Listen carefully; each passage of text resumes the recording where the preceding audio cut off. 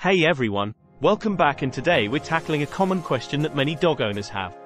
Can dogs eat tomatoes?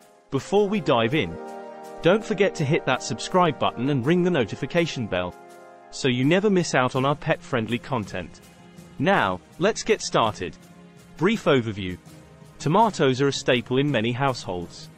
But when it comes to sharing with our furry friends, there are a few things to consider.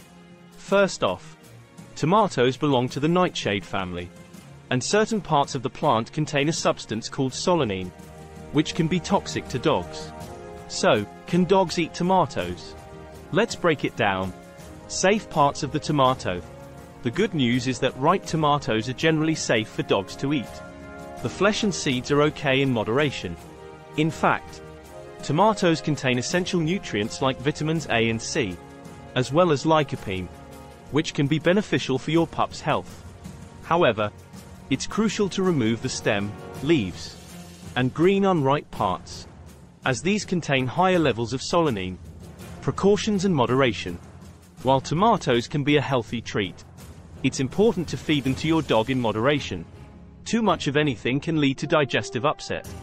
Additionally, if your dog has a sensitive stomach or any pre-existing health conditions, it's always a good idea to consult with your vet before introducing new foods. Tomato-based product.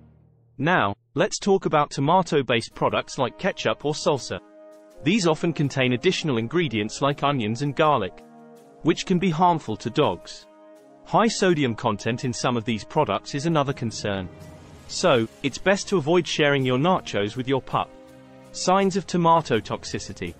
Keep an eye out for any signs of tomato toxicity, such as lethargy, vomiting, or diarrhea. If you notice any unusual behavior after your dog has consumed tomatoes, contact your vet immediately. In conclusion, yes, dogs can eat tomatoes in moderation. But it's crucial to be cautious about the parts you're offering and to keep an eye on your furry friend for any adverse reactions. If you found this information helpful, give us a thumbs up and share it with your fellow dog lovers. And of course, if you have any questions or topics you'd like us to cover, let us know in the comments below.